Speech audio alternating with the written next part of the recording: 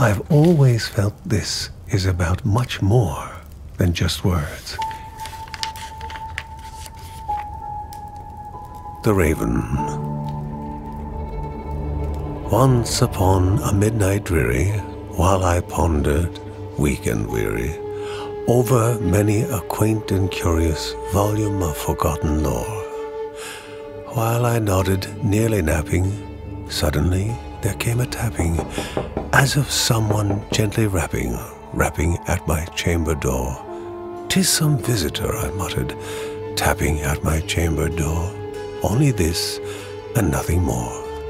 Ah, distinctly I remember it was in the bleak December, and each separate dying ember wrought its ghost upon the floor.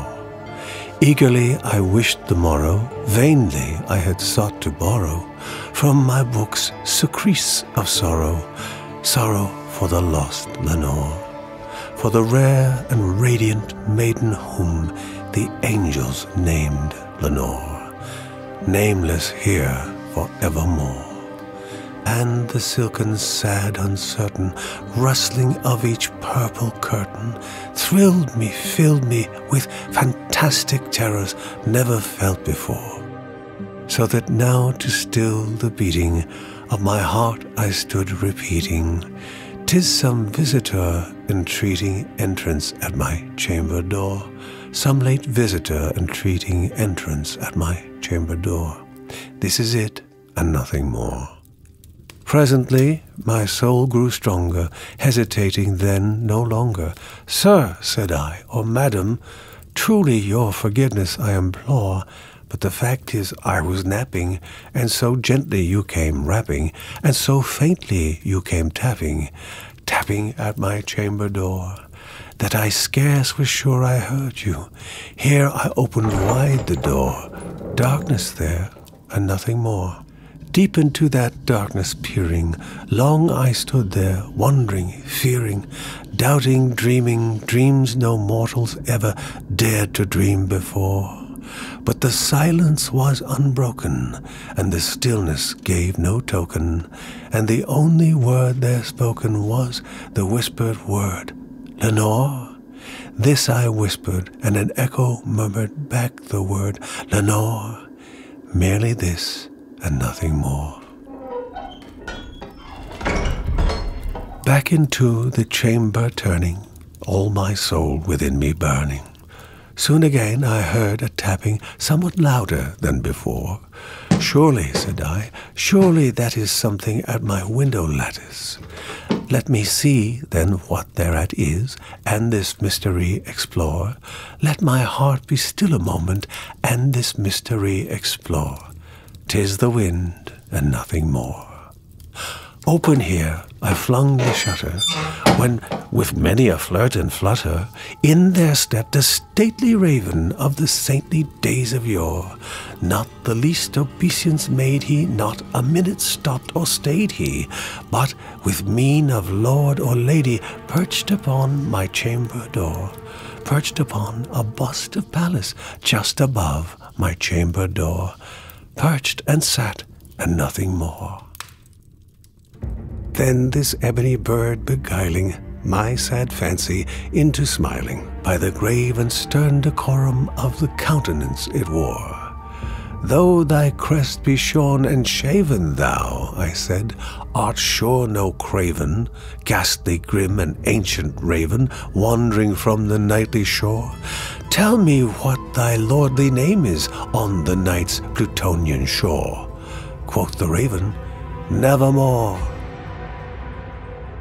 Much I marveled this ungainly fowl to hear discourse so plainly, though its answer little meaning, little relevancy bore, for we cannot help agreeing that no living human being ever yet was blessed with seeing bird above his chamber door bird or beast upon the sculptured bust above his chamber door, with such name as Nevermore. But the raven, sitting lonely on the placid bust, spoke only that one word, as if his soul in that one word he did outpour. Nothing further then he uttered, not a feather, then he fluttered, till I scarcely more than muttered, Other friends have flown before. On the morrow he will leave me, as my hopes have flown before. Then the bird said, Nevermore. Startled at the stillness broken by reply so aptly spoken, doubtless, said I, what it utters is its only stock and store.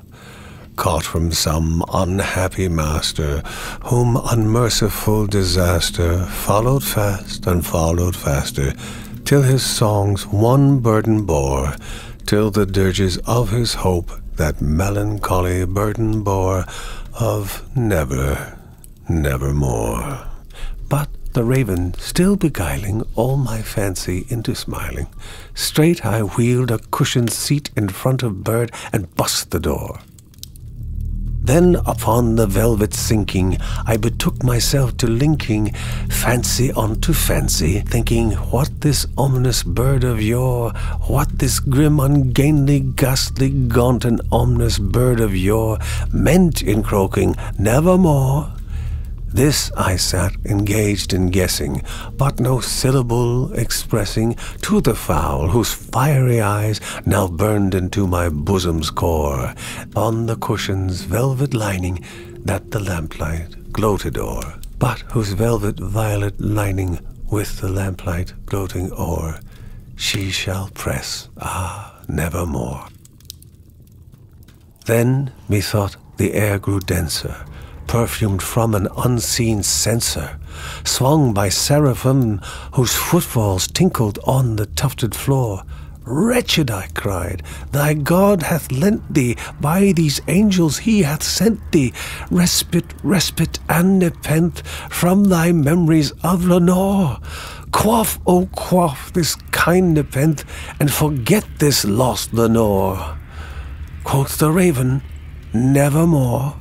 Prophet, said I, thing of evil, prophet still, if bird or devil, whether tempter sent or whether tempest tossed thee here ashore, desolate yet all undaunted, on this desert land enchanted, on this home by horror haunted, tell me truly, I implore, is there, is there balm in Gilead?